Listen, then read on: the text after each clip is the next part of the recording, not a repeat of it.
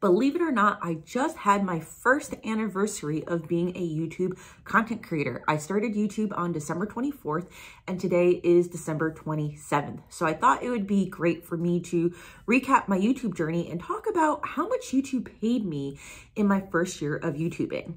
If you're new to my channel, my name is Jessie. I'm a first year cut flower farmer approaching my second and I decided to YouTube my cut flower farming journey on a whim late December last year. I actually wasn't super sure what I was doing with my YouTube channel, so I'm going to talk a little bit about my strategy. But this is what we are going to cover in today's video. I want to talk a little bit about YouTube's monetization 101. So for those of you who don't know what it takes to get paid, I'll talk a little bit about that briefly. I want to talk about my strategy in terms of my approach to YouTube and how that's kind of actually shaped my strategy for cut flower farming as a whole. Then I want to talk about when when I actually monetized, uh, how much did I make, and what videos did well, what surprises I had. I'm going to do a bit of an in-depth analysis to show you what kind of videos did well for me.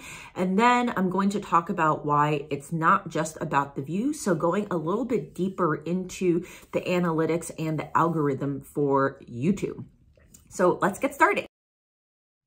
So let's start with YouTube 101 monetization. Now you might be under the impression that someone who uploads a viral video for the first time is going to get paid a lot of money. Unfortunately or fortunately, that is not the case. YouTube has two criteria that you need to meet in order to what they call monetize. You need to one, have at least 1,000 subscribers on your channel, and two, you need to have at least 4,000 watch hours within the last 365 days, which means you can qualify to monetize anytime throughout the year. Now, once you hit these two thresholds, you then apply. So I hear that there's actually someone at YouTube who is reviewing these applications. It takes anywhere from like a couple of days to up to a month for you to get accepted. But once you get accepted, this is when you start making what they call ad revenue. And, and I'm gonna break down what ad revenue looks like and how it might actually fluctuate between different types of genres of videos. But all you have to understand is that in order to become someone who's being paid at creating YouTube content, you have to be consistent in order to achieve those two criteria.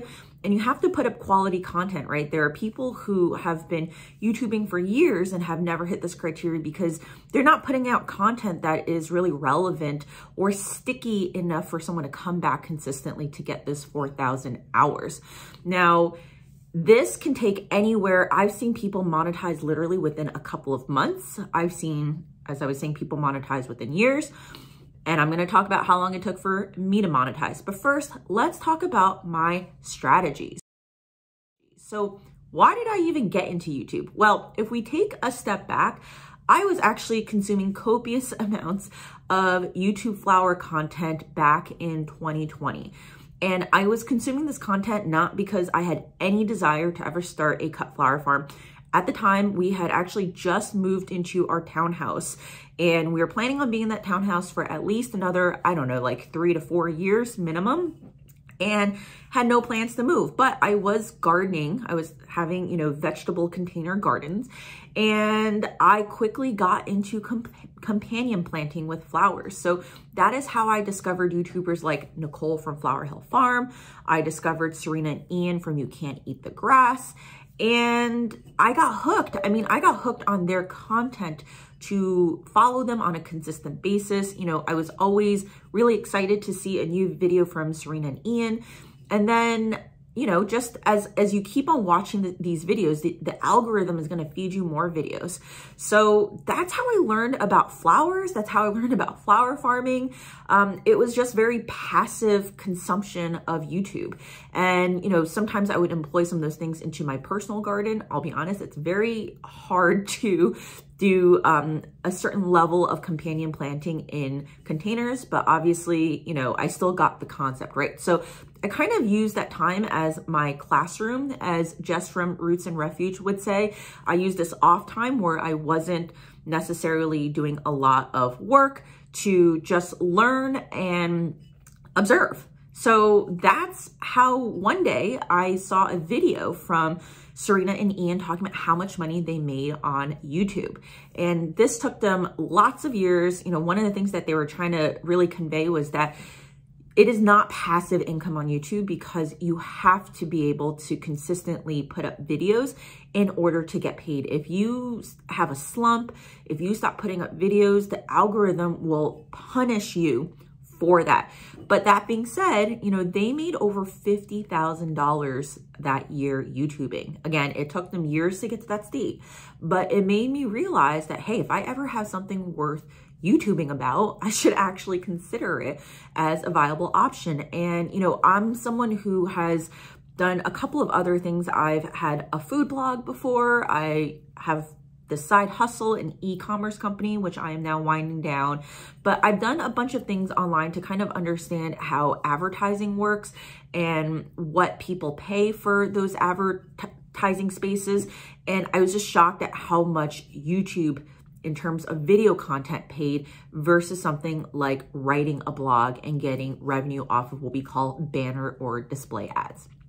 So anyway, we got to a state where um, I wanted to start a flower farm and it, it, it's a longer story than just that, but we wanted to start a flower farm and I thought, hey, you know, one of the things that I've been realizing as a gap is this business side of things. Now, there are lots of content out there from a variety of growers around how do I start seeds? How do I grow this? How do I grow that? Right? It's a lot of the content is really focused on the growing aspect of things, which is content that I honestly need because I am a relatively new grower in the grand scheme. I mean, there are people who start flower farms who have like a decade's worth of growing experience. I started gardening basically in 2019 and that was like half gardening because I bought a couple of herbs. So I really started full on gardening in 2020, had a little bit more experience in 2021 and 2022 when I broke ground for flower farming was really the first year I was not container gardening.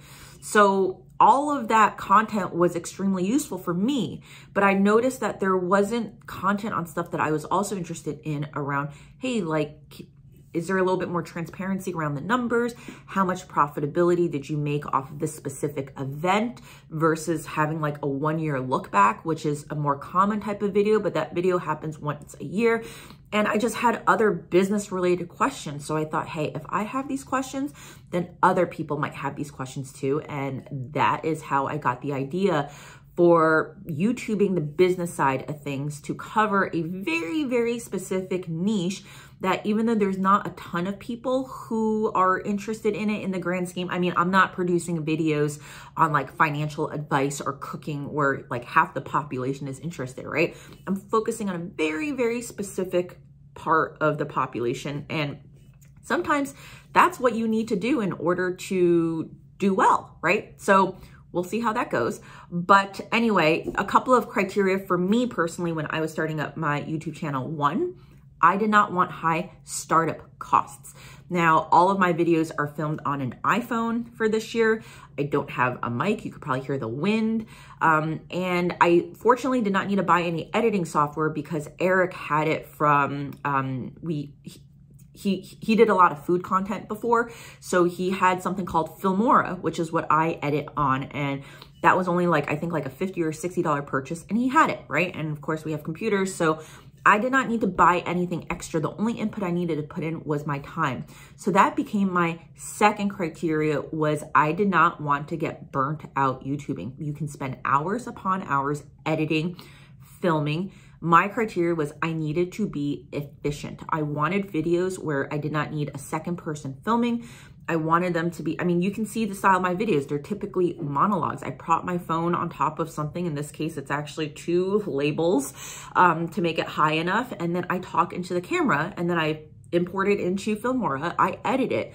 And so for a typical 30 minute video, you know, it'll take at least 30 minutes to film. Um, in this case, uh, I actually filmed yesterday. The lighting was so bad that I was like, I'm just gonna wait for the daylight to refilm. Um, that often does not happen. But so let's just say filming takes about 45 minutes for a 30 minute video. And then I'm gonna edit it. So another 45 minutes. So that brings me to an hour and a half. And then I have to upload it, export it, all that good stuff. So, you know, all in all, you know, you're talking about maybe two hours for a 30 minute video. And I wanted to keep it in that range, right? Because I preach this on my other videos, but time is money when it comes to harvesting and everything else. Same thing for YouTube. So for me, um, that meant realistically making one video a week at the most. And what ended up happening was in certain months at the height of harvest, I made one video every other week. And that video was centered around how I did at my market and breaking down the numbers after a market. But all in all, you know, that was, um, for me, that was consistency, right? I was putting out videos at least a few times a month. I would say on average, I did three to four videos a month. And I wanted to make sure that those videos were quality over quantity, right? I wanted to make sure that I had something useful to talk about and that people would get value out of these videos. All right, so now the moment that you've been waiting for. How much money did I make or did YouTube pay me this year? So I made around $630 and counting since there's still a couple of days left in December, but $630 for the year. Now let's put this into perspective in terms of when I started monetizing because I obviously did not start monetizing on in, in the beginning of January, right?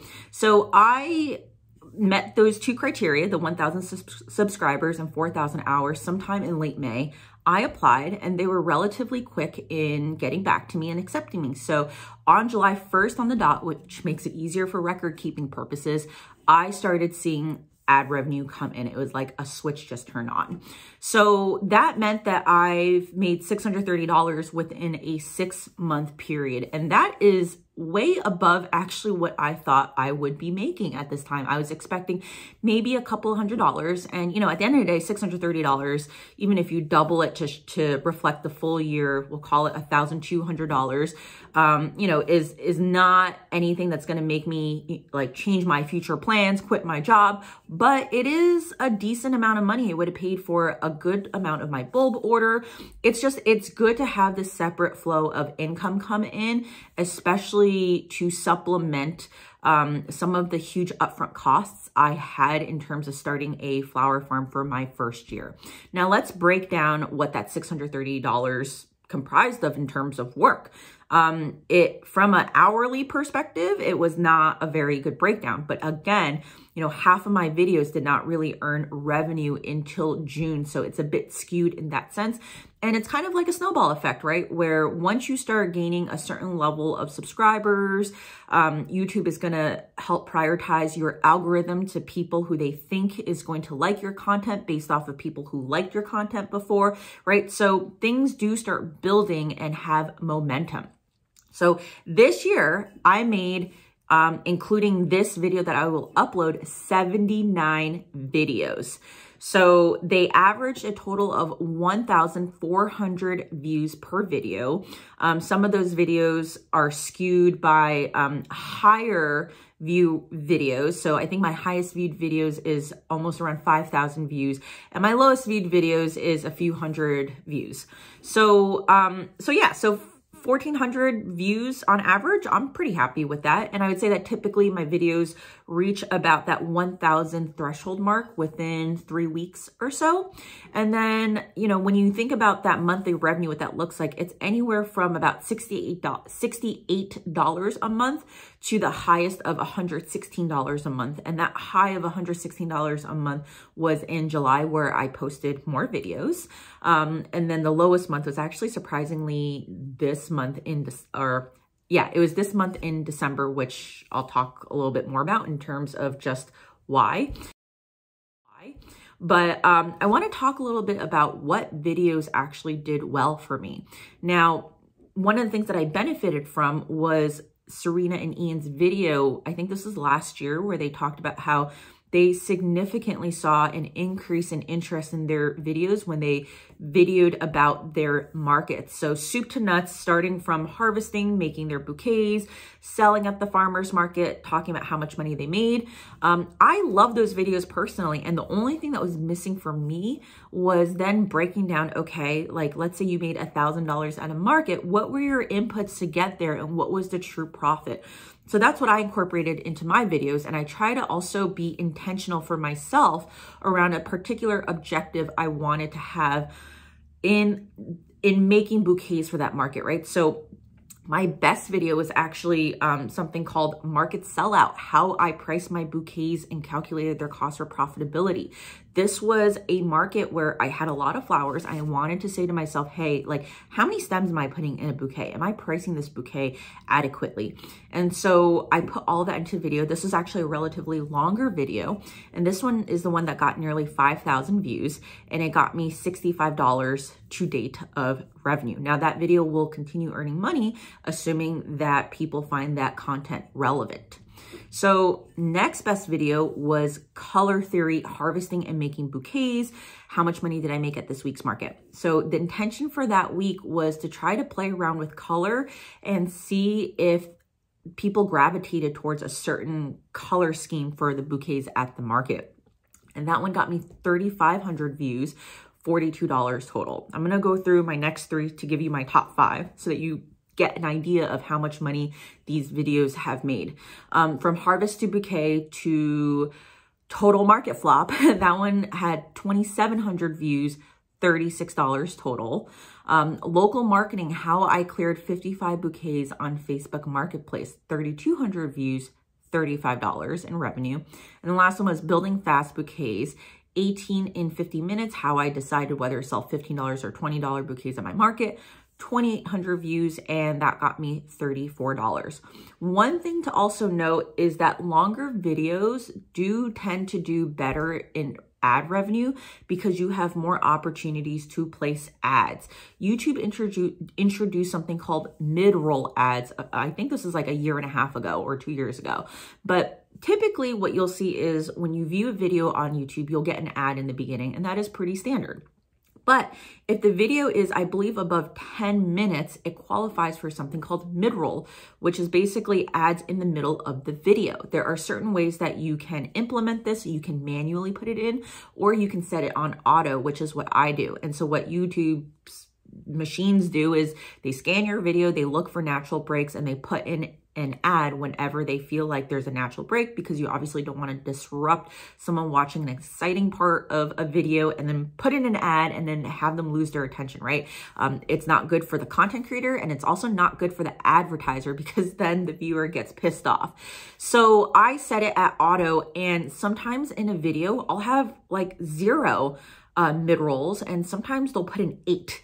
Um, and eight is a little bit too excessive, um, even for a 60 minute video in my view. The industry standard, I believe, is every five to six minutes. If you're streaming on something like an ABC or Hulu, you'll actually get fed an ad. So um, I, I, I hate watching videos like that. So what I'll do is after my video has been up for like at least 48 hours, I'll go back in, I'll check to see how many mid-roll ads there are. And if I see ads getting placed like at minute two, I'll take that out. If I see them being spaced too closely together, I'll take them out, right? So this is why sometimes when you watch my videos in the beginning, there actually might be a few more ads in the middle than if you were to watch it again later on. Um, and it's because I'm letting YouTube do its work first, and then I'm gonna take out the ads to make it a better viewing experience. All right, so let's talk about some surprises. Um, there are some videos that did better than I thought.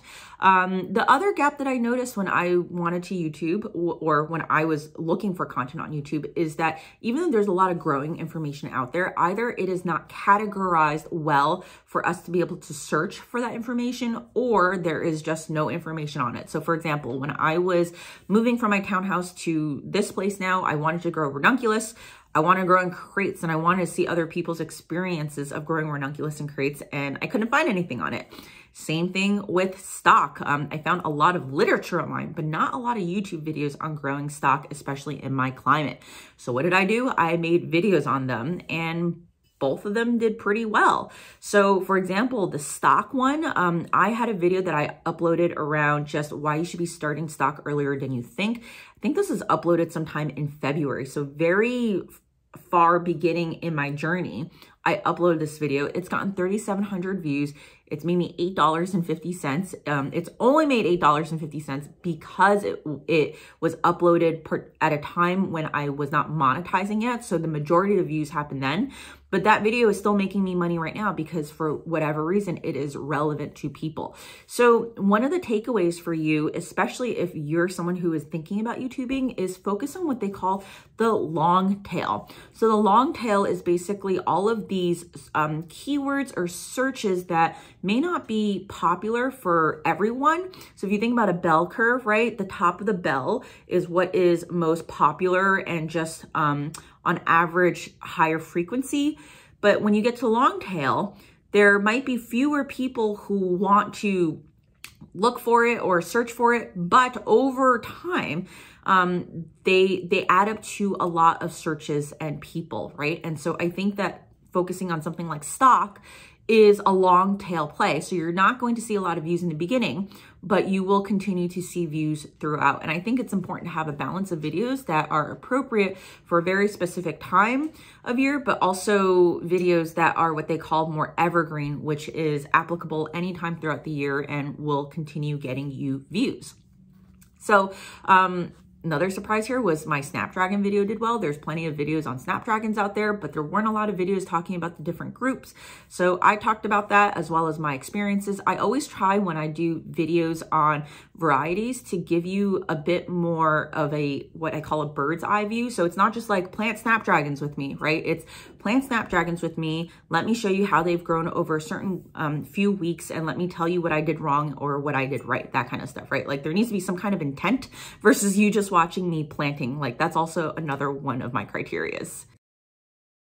So the next part I'm going to get into is why it's not just about views. For some of you, this may not be as interesting. For someone who is into business analytics and just wants to understand a little bit more of the why behind marketing, this is really interesting for me.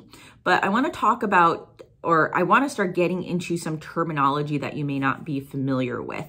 So YouTube at the end of the day pays its content creators 55% of what the advertiser pays. Now let's just say for ease, um, an advertiser is willing to pay $100 uh, to reach 1,000 people or 1,000 eyeballs. We call that cost per mile. I don't know why it's called mile, but the mile is basically a thousand. So cost per thousand, uh, they're willing to pay $100. And so YouTube would take $45 of that and give you $55 of that for the con as a content creator. Um, it's actually, you know, a pretty generous amount, I think, um, given all the work that YouTube also needs to do. In any case, so in the industry, there are CPM, cost per mile, is a very common terminology. We talk about CPM when it comes to what is the cost that an advertiser needs to pay to put an ad on a video versus for a banner versus for whatever else it is, right? And I'll tell you definitely that the cost to put an ad on any video content is going to be significantly more than the cost of a banner ad. And when I say banner ad, I mean if you're scrolling through, let's say like the New York Times, Pop Sugar, whatever website, and you start seeing like a ad um, that that looks like a banner, that is what we call display or banner. And typically, you know, that is a fraction of the cost of a video ad, which drives more engagement. Um, obviously, it's a video, so you can put a little bit more content than something that is typically static, or if it's not static in a banner, it's, you know, just, it, it's kind of like a GIF dynamic type of thing, right? So any case, uh, CPM is a relatively uh, well-used terminology in the marketing world. YouTube introduces something called revenue per mile. So the cost per mile is what the advertiser is willing to pay. The revenue per mile is what you as a content creator would get from YouTube. So that is taking out that 45% cut that YouTube has as well as some other stuff. So revenue per mile RPM is something that I as a content creator am more interested in looking in. And this is the metric that I'm going to use to talk about why it's not just about the views. So let's talk about my videos with the highest revenue per miles because not all videos have the same RPM. So my top video with the highest RPM was actually one of my lowest viewed videos. It is about costs, fixed variable opportunity considerations to maximize profit. That one only got 718 views, but the cost or the revenue per mile was $19.77, which meant I made $14 off of that video. Um, and a thousand people didn't even view that video, right? Next video that had the highest RPM was, do I need a LLC and EIN beginner cut flower questions? 710 views. Again, also got me $14 because RPM was $18.32.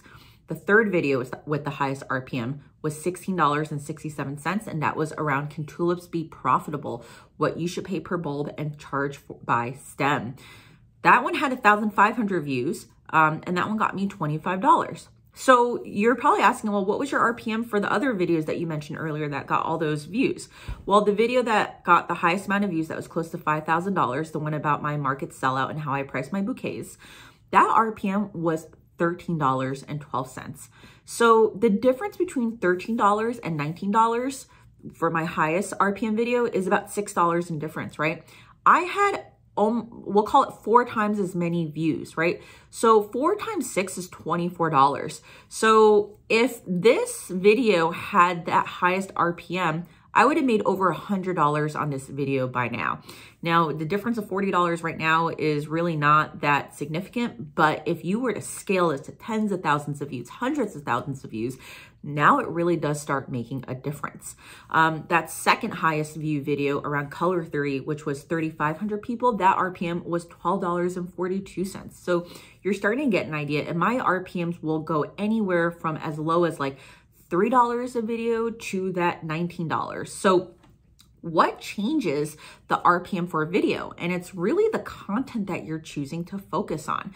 So for example, if you are posting videos around financial advice, you are going to do very well as a YouTube content creator because the types of advertisers who want to target that type of viewer are willing to pay money. And if you think about it, it makes sense. So, you know, I I consume some financial content videos and when you pay attention to some of the ads on there, like I've seen financial advisory ads on there. So it might cost a lot of money for them to acquire a customer.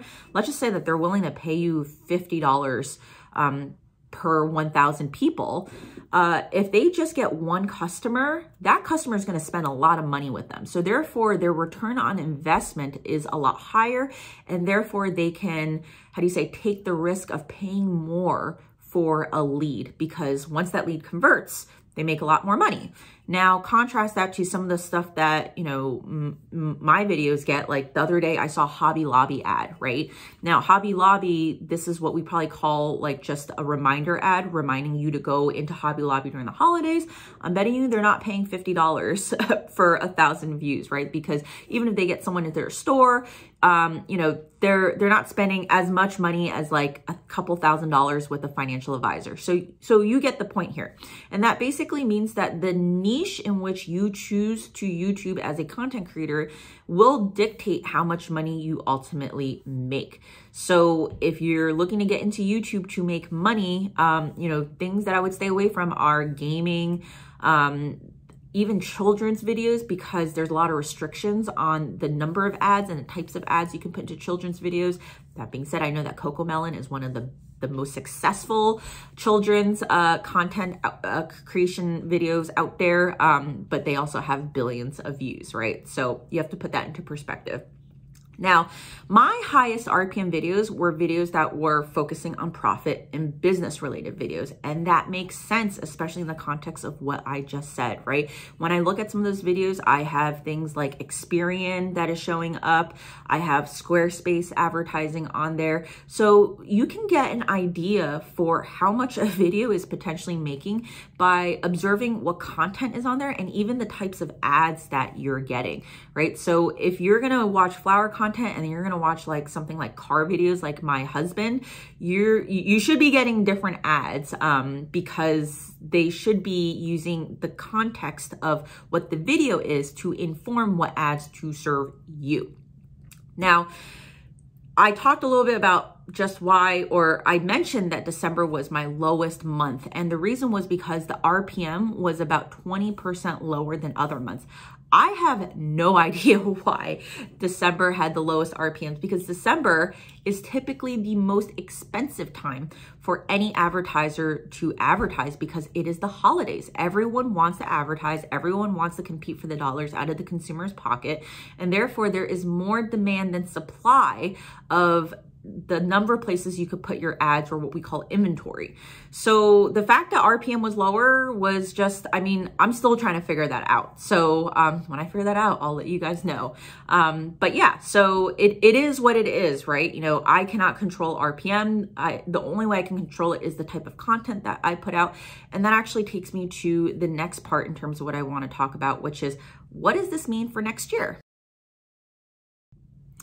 So not much it really doesn't change much of what I'm going to YouTube about, um, how consistently I YouTube.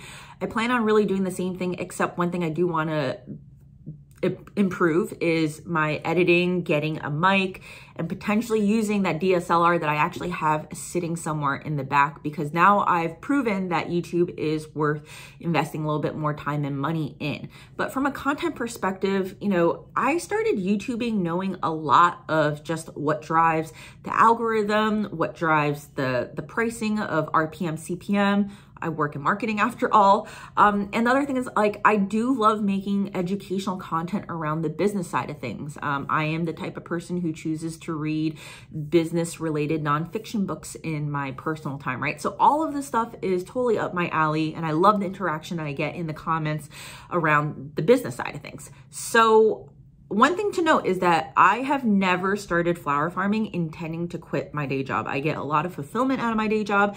My day job challenges me and I live in America. I am the benefits provider of my family. So um, having benefits is very important in America, right? But all that to say, you know, starting a flower farm was always a side hustle that was meant to satisfy a creativity and curiosity side of me. Um, I've enjoyed being outdoors. I've enjoyed going back to roots in terms of what our ancestors did. It's given me a much better appreciation for my day job where if it's blizzarding outside or if it's 100 degrees outside, I am still in a temperature controlled environment sitting on my butt in front of a computer, not exerting any energy. And I would say that the type of stress that I get at my day job is incomparable to the stresses that farmers have, which are typically completely out of their control, right? So, you know, I went into flower farming understanding all of this, um, and I have no intent to quit my day job. And so what that means is how I choose to spend my time flower farming and YouTubing is actually going to look a little bit different than someone who is looking to really build up their flower farming business to be able to quit their day job, right? And I say this because at the end of the day, you know, my day job comes first. So when I think about how I spend my time, it's around how do I how do I maximize getting what I want out of it, but also making money, right? So it's not always about the money, but um, I'm not going to operate this business at a loss. And unfortunately, you know, unless if you're going to do like wedding events and workshops and all that stuff, the money is not in selling flowers. Um, you have to do a really high volume of selling to florists, to like directly to consumer doing CSAs in order for you to make money. So for me, at my scale, the money in flower farming is either in YouTube or it's in content that I am creating for other flower farmers. And this is the other piece that I want to touch upon because when I went to flower farming and started YouTubing, I was just thinking that my end customer is that customer who's buying a bouquet for me, right? And that could be that person who comes from the market, the person who's on marketplace, or the florist. But my true customer is actually not that person. My true customer within the first two months of YouTube became very clear to me is you is the person who consumes my YouTube content who is likely another fellow flower farmer who is in their beginning years. So I really honed in my target to, hey, my my target customer is that first to third year cut flower farmer who is in a similar part of my journey and who is interested in seeing what I'm doing or more interested in the business aspect of things that they may not have considered. So what does this mean? It means that I completely rehauled how I thought about using my Instagram.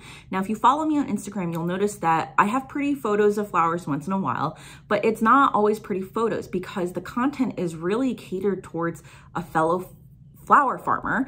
And the content that I'm posting is more around just things that I'm thinking about related to everyday business. So for example, my latest post was actually about me and how I feel mentally better about recognizing revenue closer to the time of sale and why CSAs for me right now, given where I am in my flower farming business, just, you know, doesn't make sense to me, right? So I talk about things that I think are relevant for other flower farmers and they're typically a little bit more detailed details or photos um, that supplement some of the YouTube content that I create.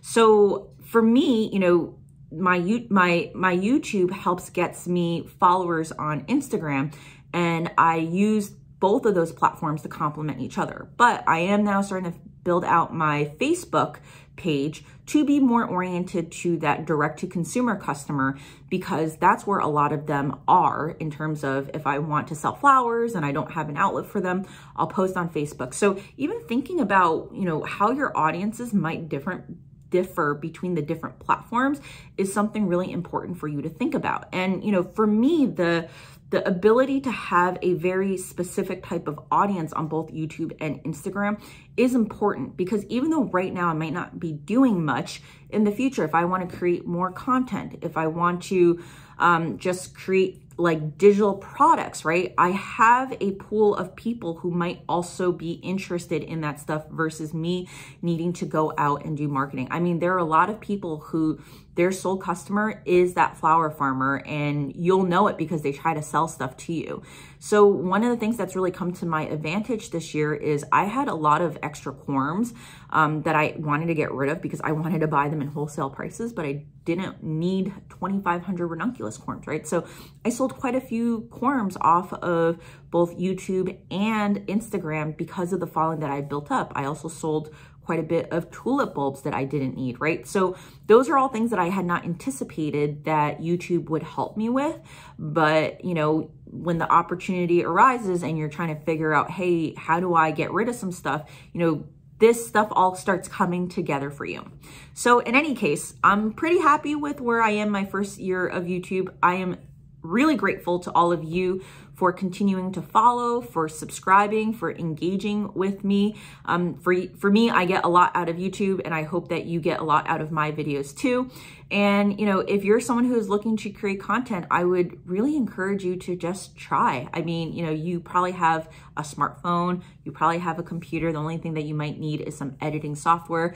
There's a bunch of free resources out there on how to do it. So don't let any of that prevent you from doing it. And if you're not interested in creating content, hopefully this was interesting for you just to understand what it's like to be a content creator and the amount of work that a lot of those people put into videos, but also the rewards that they get, right? So drop me a comment if you have any questions or if you want to comment on something, and I will see you next time.